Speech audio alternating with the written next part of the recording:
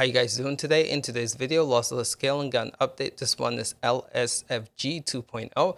In today's video, we're going to be showcasing if this actually makes a difference. We're going to be taking a look at two games, Horizon Forbidden West and also Helldivers 2. So if that's something you guys were interested in, make sure you hit the like button, subscribe to the channel. Let's get right into this video. So before we get started, we're going to be giving away two codes to lossless scaling. Thanks to the devs for hooking us up with those codes. So in order to do that, you have to go to our Discord to get into that giveaway. So as you can see here with this update, enhance adequacy for processing large scale movement, enabling efficient usage at lower frame rates, hence the minimum recommendation base frames are 30 to 40 for 1080p 1440p resolution with 60 fps and higher recommendation for optimal experience. So with this we should get reduction to common artifacts such as motion ghost and edge distortion and image blurring. And it says gpu load has increased 1.5 to 2x depending on the resolution. Therefore a new performance mode has been added to preserve the performance of previous version. It retains all the main advantage of the quality version and surpasses the lsfg 1.1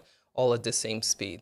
All right, so with that being said, let's test this out. All right, so here we have Horizon Forbidden West, and I just want to say in advance, for the recording. This one struggles to record using the capture card, so you're seeing a lot of missing edges when it comes to just to displaying the quality. So again, apologize with that in advance. Hell Helldivers 2 is going to look a lot better.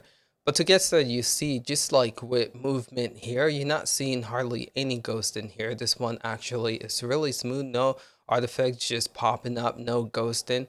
And it's really smooth. And you see with the FPS count here, we're getting high FPS. This is running in medium graphical setting as well. And so yeah, to see the consistency of the FPS just staying above 70 FPS is quite impressive. Again, what catches my attention here through all this is you hardly notice any ghosting with this one. This game used to struggle a lot when it comes to ghosting. This 2.0 update definitely makes a significant difference when it comes to this game as a whole. And I think it does a great job and makes this one definitely playable at a high level on this handheld. Alright, so the next game that I want to showcase here is Helldivers 2 running on this device and you'll see here that this one is at medium graphical settings and we're getting high 50 FPS here and again, this one, you'll notice it doesn't have any ghosts in its wall. I feel like now this is a great way to experience this game on this device. Again, looking for ghosting, you hardly see any running on this device. And FPS count stays above 50 FPS here. And again, this is a great time for you guys. We're looking for a good way to play Helldivers in handheld. So again, just check out the gameplay here.